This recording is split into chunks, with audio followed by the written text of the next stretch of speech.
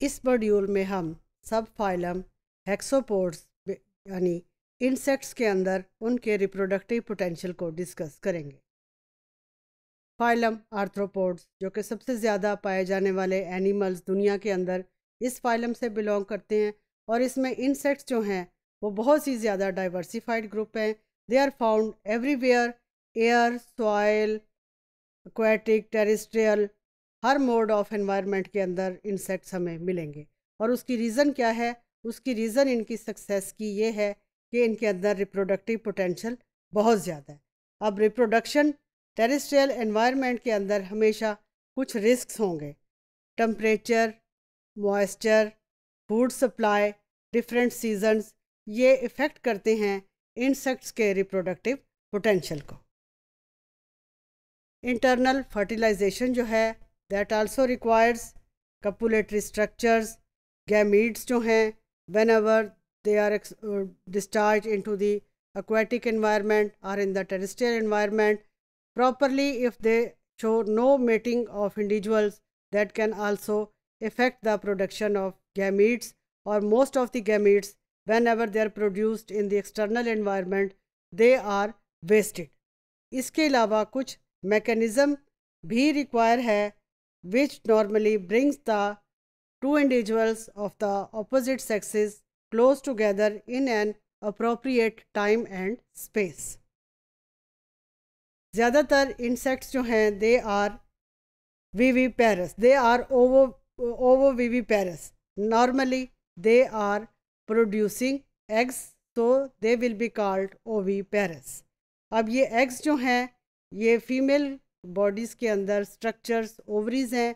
They are playing role in production of eggs similarly males के अंदर sperms हैं testis हैं ovaries they will be present in the form of double structure one testis है और वहाँ से sperm की प्रोडक्शन होगी.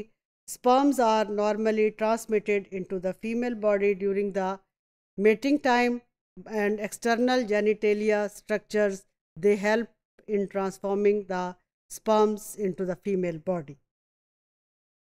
अब sometimes sperms जो हैं they are stored in the female body uh, they are having one or more structures in structures को हम कहते हैं spermatheca इसके अंदर sperm store हो जाएँगे और फर्टिलाइजेशन के टाइम ये स्पर्म्स जो हैं रिलीज़ होंगे ओविडक्ट से एग आएँगे स्पर्म मिलेंगे और यहाँ पर sometimes whenever there is internal fertilization तो ये इंटरनली कंबाइन हो जाएँगे मेल और फीमेल गैमिट्स और जब एक्सटर्नल फर्टिलाइजेशन होगी, उस वक्त जो हो, ये स्पर्म्स हैं they are expelled out of the body via the structure called ovipositor diagram से हम मेल और फीमेल इंसेक्ट्स को कंपेयर कर सकते हैं how they are playing role in reproductive potential. This is the male in and this is the female body. Male body के अंदर this is the tegmen and uh, anal tube, ejaculatory duct, vinculum, saccus, right valve, vesica. This is gnatha, anus, osseous and this is the female body, ovary और यहाँ पर फिर anal tube दो ovaries हैं तो इनकी एक कॉमन ओविडक्ट होगी।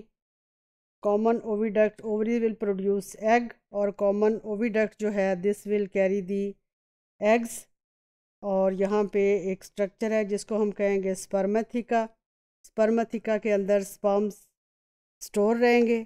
फर्टिलाइजेशन इंटरनल भी हो सकती है एक्सटर्नल भी हो सकती है। जब ये फर्टिलाइजेशन होगी तो इसमें एक्सटर्नल फर्टिलाइजेशन में eggs and sperms both they are released outside the body and internal fertilization they are normally inside the body. So this reproductive potential of insects make them successful individual on this universe as compared to other types of animals